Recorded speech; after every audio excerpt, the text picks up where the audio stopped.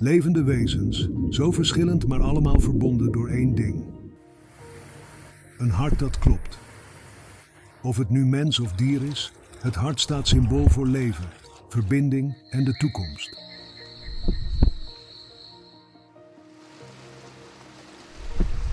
Een gezonde planeet betekent gezonde harten. We delen allemaal de belangrijke verantwoordelijkheid om onze aarde te beschermen.